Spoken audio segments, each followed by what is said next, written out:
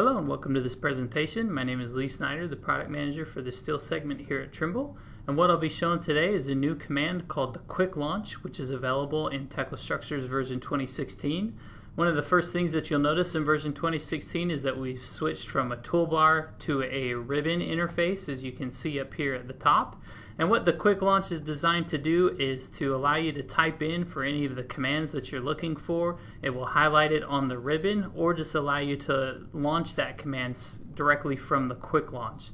So just to show you how this works, you can come up here to the top right and put your cursor in there to begin typing. Or the hotkey for that is just to hit Control Q on your keyboard and then it will activate that quick launch. So if I wanted to come in here and type in weld, what this will do is it will give me a drop down of all of the commands that have weld in the name on the ribbon, as well as any of the commands that I have in my applications and component catalog. You'll notice over here as well that it's going to highlight the tab that these specific commands can be found on. So here on the steel tab, I have this weld command. If I hit the drop down, here's all of these other commands that have weld in the name. You'll notice here that the inquire is also highlighted. So here is the welded parts. I can inquire on those or the primary welded part. If I click on drawings and reports, then I can also see here under the numbering that the number welds command is available there as well.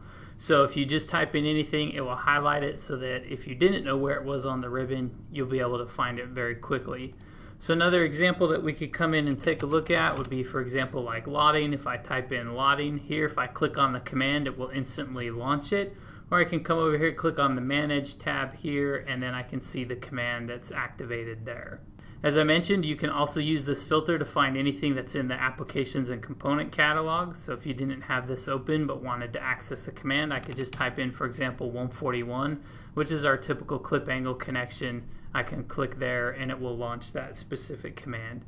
Another thing that we'll also find is any macros that you have there as well. So let's say that if I typed in create surface view, as I begin typing, it's going to filter that out and you can see here are the macros that are available.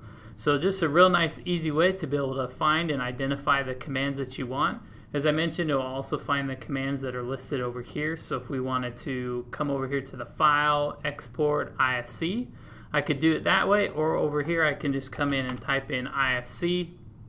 Here's that option there. If I can click on that, here's my export to IFC option. So whichever way that you find is quicker, uh, you certainly have the ability to do both. So we'd encourage you to try this out, send us any feedback that you may have, and we hope you enjoy this new development.